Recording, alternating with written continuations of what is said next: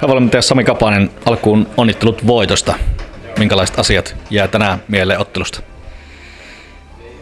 Pelissä oli paljon hyvää, että me, me oltiin ihan hyvällä jalalla liikkeellä tuossa alussa ja eka erä oli ihan hyvää pelaamista. Ehkä hetkin, niin olisi voitu vielä aktiivisemmin ampua, pelata kiekkoa kohden maaliin.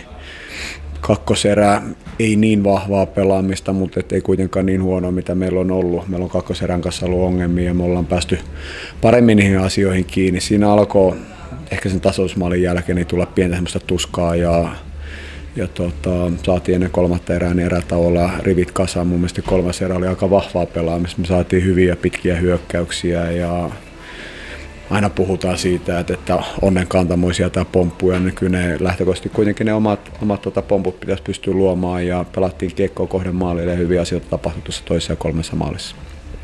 Saipa ei kyllä laskenut helpolla tänään. Mitkä oli asiat, jotka sinun mielestä siivitti meidät kolmen pisteen voittoon?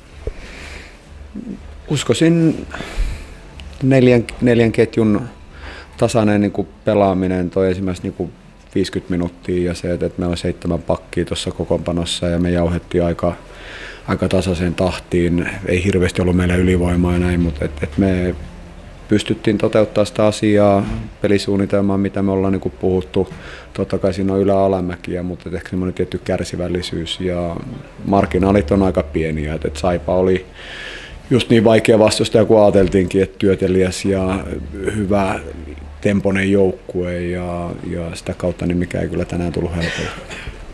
Facebookista täällä on Back. Otan koko kommentin. On se Sami ihmemies. Mistä hän on taikonut pelaajien tuollaisen peli-ilon? Kiitokset tieltä kotikatsomosta Kalvan Poppolle. Näillä eväillä on kiva lähteä kohti keltaista kevättä. No, kevättä tässä työstetään ja tiedän, että, että se nyt on yksittäistä tahosta kiinni. Että kyllä tässä niin koko valmennustiimi on, on tehnyt paljon töitä joukkueen eteen ja joukkue on, on hyvin sitoutunut asioihin, mitä me halutaan tällä hetkellä työstää. Ja se on aina katsojan silmissä, että, että ei tuossa nyt pitkä aika ole, kun on aika paljon kritiikkiä tullut henkilökohtaisesti ja, ja varmaan koko joukkueelle. Ja asiat menee ylä- ja alamäkeen ja nyt kun menee paremmin, niin otetaan tietty tuki vastaan, ja, mutta se, että kyllä me niin kun ollaan vaikeillakin hetkillä niin koitettu keskittyä siihen omaan tekemiseen ja uskoa tähän joukkueen potentiaaliin ja mun mielestä me ollaan nyt näkemässä, että, että mihin tämä joukkue pystyy ja mutta asiat ei helpotu yhtään, että, että ne menee koko ajan vaikeammaksi joka peliltä ja meidän pitää vastata siihen huutoon, mitä kevät tuo tullessa. Mikael Seppälä, alkuun onnittelut voitosta. Mitä jäi päällimmäiseksi mieleen pelistä? No kiitokset, että jäi kyllä hyvä semmoinen kamppailumakuun suuhun. Että kamppailu voittaa. Joo, Saipa ei kyllä laskenut helpolla, mutta kuitenkin kolme pistettä tuli, niin mihin asioihin ottelu lopulta kääntyi? No kyllä me tuota, otettiin tuohon kolmanteen erään semmoinen, saatiin jalat liikkeelle hyvin ja ruvettiin rummuttaa sillä niiden päässä. Niin ansaittiin ne pomput sitten siinä lopussa. 2-1 voittomaali, niin tuota, kerro muutamalla sanalla siitä.